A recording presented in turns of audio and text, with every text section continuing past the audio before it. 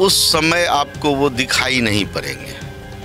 वो चले जाते हैं हनीमून मनाने के लिए। विशेष पैकेज दे करके कैसे बिहार आगे बढ़े, इसका वो बिहार उस कैटेगरी में नहीं रहने के बावजूद भी विशेष राज्य के दर्जा पर कुछ भी बोलने का नैतिक अधिकार नहीं है। बिहार उस कैटेगरी में नहीं खड़ा है। तो वो जंगल राज और बिहार को वो शुरू से देखिए विशेष राज के दर्जा को लेकर के जो है लगातार आरजेडी अभी भी कहीं न कहीं बीजेपी पर हमलावर है। जो बीजेपी चाहती तो विशेष राज्य का दर्जा जो है बिहार को मिल सकता है। हमारे साथ बातचीत करने के लिए पूर्व मंत्री बिहार सरकार और विधायक आलोक रंजन जी है बात करेंगे। अभी भी लेकिन आरजेडी यही कह रही है जो आप लोग कहीं न कहीं जानबूझ के नहीं दिए हैं। विशेष पैकेज का सिर्फ़ एक दिखावा कर रहे हैं। दर्जा तो मिलना चाहिए था। देखिए राष्ट्रीय जनता दल के लोग को विशेष राज्य के दर्जा पर कुछ भी बोलने का नैतिक अधिकार नहीं आज यदि बिहार को विशेष राज्य का दर्जा नहीं मिल रहा है, बिहार उस कैटेगरी में नहीं खड़ा है तो ये उसी के समय की सरकार है, जिस समय राष्ट्रीय जनता दल के लोग उसमें मंत्री थे रेल मंत्री के रूप में लालू प्रसाद यादव जी, आदरणीय लालू प्रसाद यादव जी काम करते थे। उसी समय की सरकार, आदरणीय मनमोहन सिंह जी की सरकार ने बिहार को उस कैटेगरी से बाहर करने का काम किया है। वो घरियाली आँसू बहाते हैं। कोई आज विशेष राज्य की दर्जा की बात, की चर्चा हुई है, सो बात नहीं है। शुरू से विशेष राज्य की दर्जा की चर्चा है। लेकिन बिहार उस कैटेगरी में नहीं रहने के बावजूद भी चूँकि देश के यशस्वी प्रधानमंत्री आदरणीय नरेंद्र मोदी जी को बिहार की चिंता रहती है, बिहार के विकास के लिए वो संकल्पित हैं, इसीलिए समय समय पर बिहार को विशेष पैकेज दे करके कैसे बिहार आगे बढ़े, इसका वो भरपूर ख्याल रखते हैं।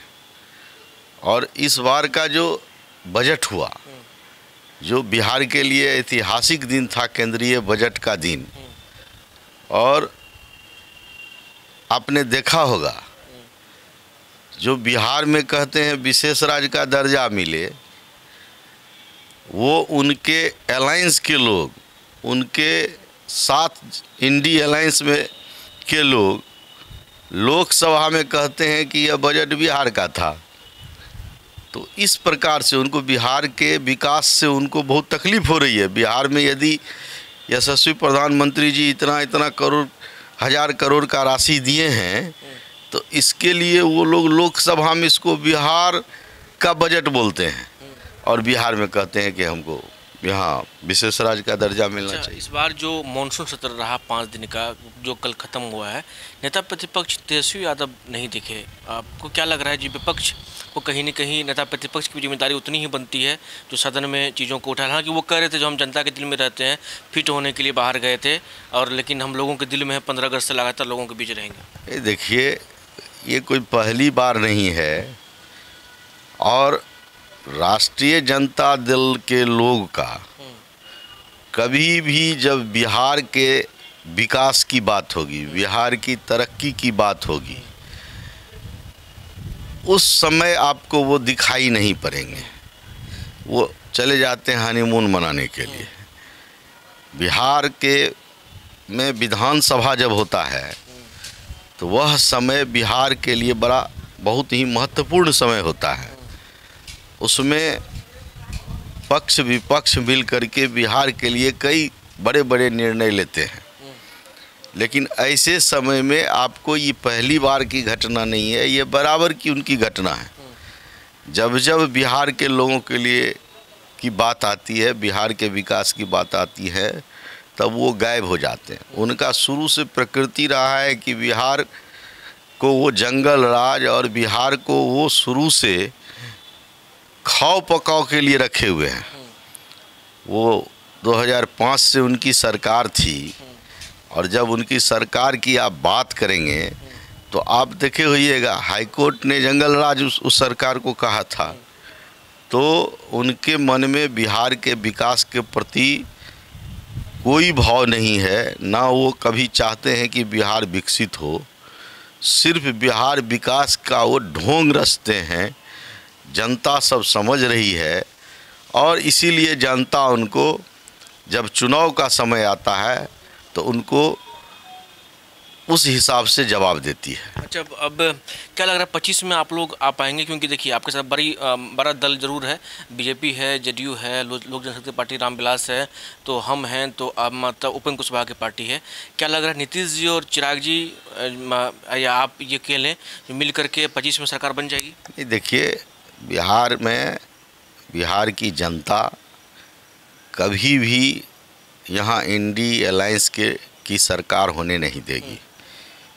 बिहार का अनुभव, लोगों को उसके समय का अनुभव, राष्ट्रीय जनता दल के समय का अनुभव लोगों ने किया है कि किस प्रकार से बिहार में भ्रष्टाचार लॉ एंड ऑर्डर की समस्या थी और किस प्रकार से बिहार को जो है, सो बिहार के लोग यहाँ से पलायन कर रहे थे।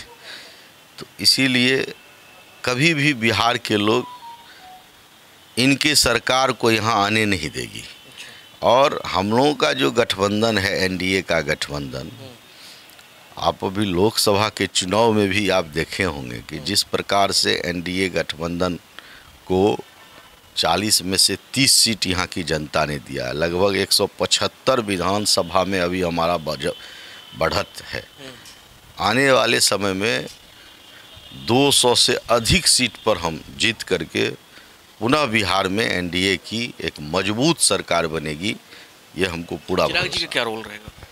सब लोग एक साथ हैं और सब लोग मिल करके बिहार के विकास के लिए बिहार में 2025 में एनडीए की सरकार बनाएँगे। अच्छा क्राइम पर क्या करना चाहेंगे? लगातार तो कल तनिष्क पूर्णिया में बड़ी लूट हुई घटनाएँ हो रही है। नहीं लगता आपको अपराध सच में कहीं ना कहीं बढ़ा हुआ है? कानून का खौफ होना चाहिए लोगों में? नहीं देखिए हम्म। अब अभी के समय में बिहार में यदि कोई अपराध होता है ये ठीक बात है कि हम नहीं कह सकते हैं कि दो चार अपराध नहीं होता। लेकिन अपराध होता है तो निश्चित रूप से अपराधी को पकड़ा जाता है। आप देख रहे हैं कि जितनी भी घटनाएँ इससे पहले हुई है। आपको पता है कि बिहार में अपराध करने का, अपराध को रचने का, एक समय था बिहार में 2005 से पहले कि सरकारी स्तर से अपराध किया जाता था। अपराधी को सरकारी संरक्षण मिलता था। बिहार अपहरण उद्योग के नाम से जाना जाता था। आज बिहार में अपराधी को खौफ है, लेकिन कुछ अपराधी इसके बावजूद भी कुछ अपराध करते हैं, जो शुरू से अपराध कर, करने का जिनका शुरू से रहा है, वो अपने को नहीं बदल पाते हैं। और अपराध जब होता है तो हमारी सरकार 24 घंटा 48 घंटा, बहत्तर घंटा के अंदर अपराधी को पकड़ के हम लोग उसको सजा देते हैं। इसीलिए हम समझते हैं। और जब अपराध इंडेक्स की बात करेंगे तो दो चार घटनाएँ आपको दिखाई पड़ती है, लेकिन जब आप उसको देखेंगे तो महागठबंधन की जब सरकार थी, उससे बहुत कम अपराध अभी भी हमारे यहाँ है।